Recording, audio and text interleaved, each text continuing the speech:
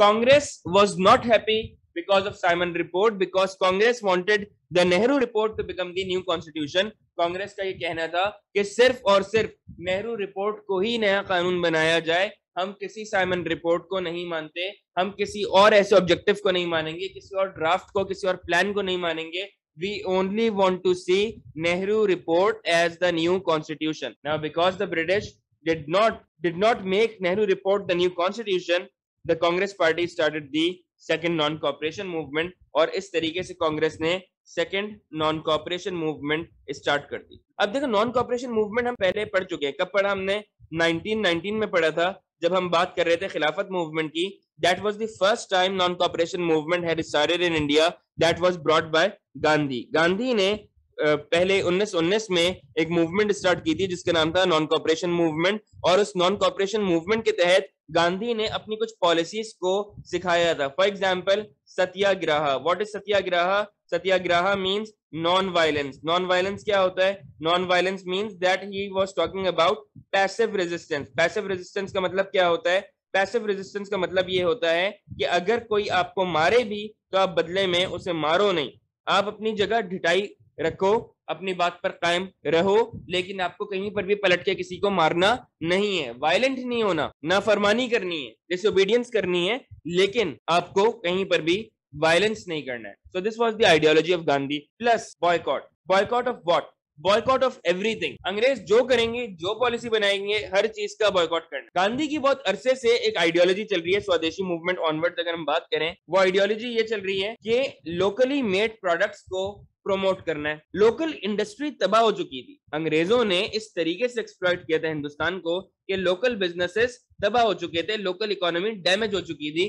1906 onwards मुस्तकिल कांग्रेस और Hindus यही काम करने की कोशिश कर रहे हैं कि लोकल इकोनॉमी को किसी तरह से रिवाइव किया जाए। बाहर के ब्रांड्स को प्रेफर नहीं कर रहे लोकल ब्रांड्स को ही प्रेफर कर रहे थे since the days of swadeshi movement यहाँ पर एक नई चीज़ आ गई।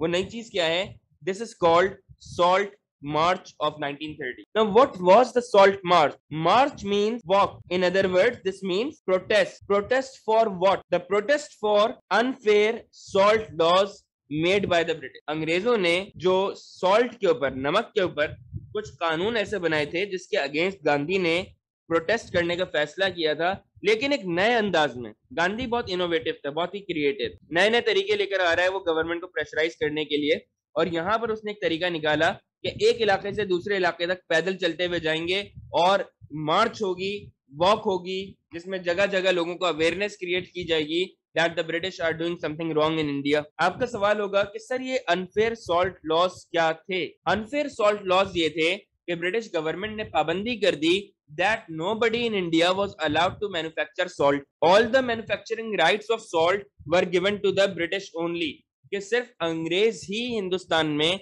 नमक को मैन्युफैक्चर कर सकते हैं इंडियंस को अलाउ नहीं था कि वो मैन्युफैक्चर कर सकें plus the tax on salt was also added अब देखो, मुल्क है इंडिया वालों का, सारी रिसोर्सेज इंडिया वालों की है, आप एक तो आगे एक्सप्लॉइट कर रहे हो, उसके बाद फिर कह रहे हो कि लोकली कोई सॉल्ट बना नहीं सकता, सिर्फ़ हम बनाएँगे सॉल्ट ये कैसी बात हुई? हर चीज़ में अपनी मुनाफली चाहिए बस अंग्रेज़ों को। Gandhi was against this idea Gandhi ने कहा कि अब तो हम सॉल्ट बना के दिखाएँगे। इन्होंने मना किया कि सॉल्ट नहीं बनाओ अब तो मैं पूरी आवाम से कहता हूँ कि सब लोग चलो मेरे साथ समंदर पे, और समंदर पे चल के हम पानी को फ़िल्टर करेंगे, पानी को फ़िल्टर करके उसमें से हम सॉल्ट को कलेक्ट करके ये दिखाएँगे that Indians can make their own salt so Gandhi started his walk from Ahmedabad in Ahmedabad he had his safe house safe house is also known as retreat in Hindi this is known as ashram so Gandhi was in ashram in Ahmedabad and he started to march towards Dandi Dandi was the name of a coastal village एक ऐसा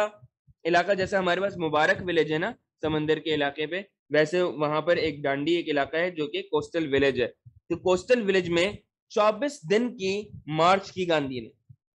For 24 four days Gandhi walked along with followers and reach the coastal village of Dandi over there they collected salt and showed the government that Indians can make their own salt बहुत ही unique तरीके से protest किए क्यों?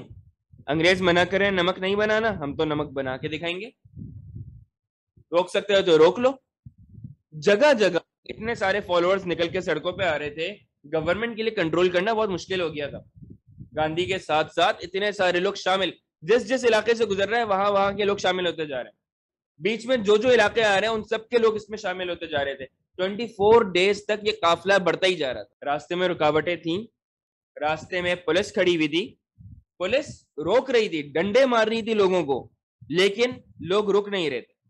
डंडे मारते थे वो लोग, मार खाते थे, फिर चल पड़ते थे आगे। इस चीज़ को इंटरनेशनल मीडिया ने कवर करना शुरू कर दिया। बाहर से जर्नलिस्ट आ गए, गांधी के इंटरव्यू होना शुरू हो गए। यार क्या ज़बरदस्त आदमी है, क्या ज़बरदस्त डिटर्मिनेशन है इसकी। रुकता नहीं है, झुकता नहीं है। लोग इसे मार रहे हैं, इसके लोग मर रहे हैं, कुछ भी हो जाए, गांधी और उसके फॉलोअर्स पलट के मार नहीं रहे, बस चलते जा रहे हैं अपनी मंजिल की और सॉल्ट को कलेक्ट करके इन्होंने दिखाया। तो this shows the determination of Gandhi and as a result of salt march salt march के नतीजे में Gandhi and his followers were arrested Gandhi और उसके फॉलोअर्स को अरेस्ट कर लिया गया and so he was in jail